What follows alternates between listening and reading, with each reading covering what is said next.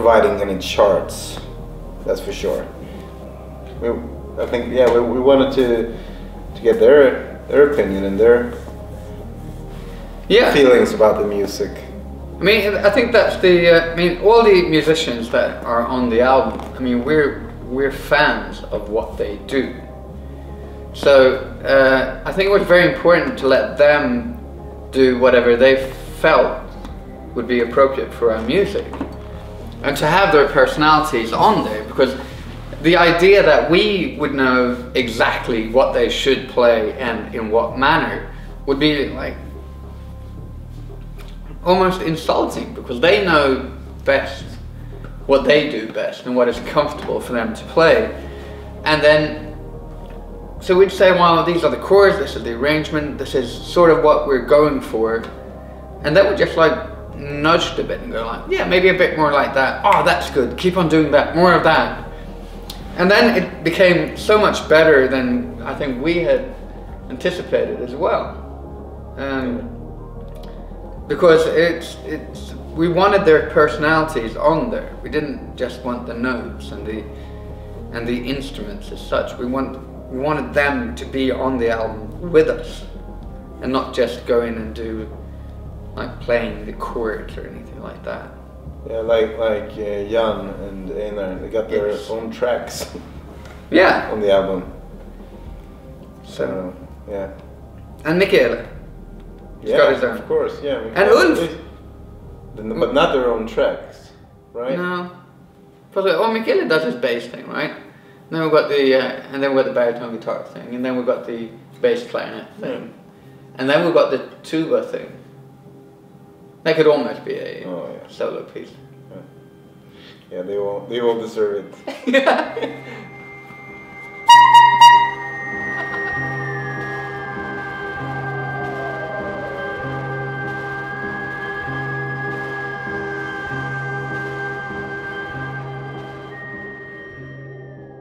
Well, um, I mean, how, how many women are there in in Necromonkey? On the Necromonkey album, there's like three, right? No, four. Four. Yeah, Elvira as well. Elvira's counting, and and then we've got Cecilia playing cello, and then we've got Tiger and Akiba, Yeah, and that's four out of two. four out of two. Uh, why? Well, because it's uh, because women are smart. That's why women are smart, so they know a bad thing when they hear it, and when a bad thing doesn't end, and when a bad thing is in odd time signatures.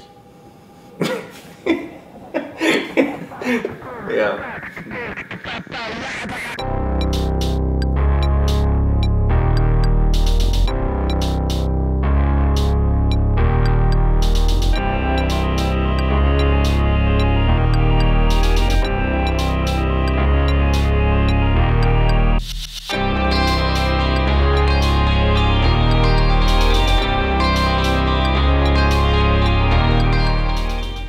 Well, I, I think that I, I had this idea that there'd be that we'd we'd we'd made this album that was kind of like all over the place, and I thought it'd be kind of fun if, if you all of a sudden had someone in the album talking to you as a listener of the album, kind of like yeah, like an intermission thing. Here we are right now in this album, and. Uh, that felt like a uh, I'd never heard that before having a message to directly to the listener.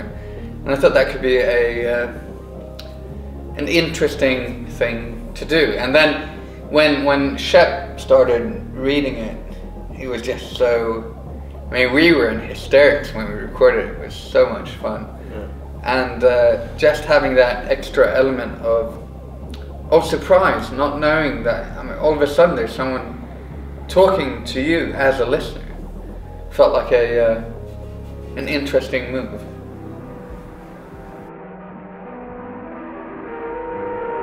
We are halfway through this thing. It's been fun so far, hasn't it, kids? Well, I wouldn't know. I have no idea. Collection of parking tickets and receipts. And before you know it, you're mumbling into a microphone in a basement in the suburbs. Somewhere.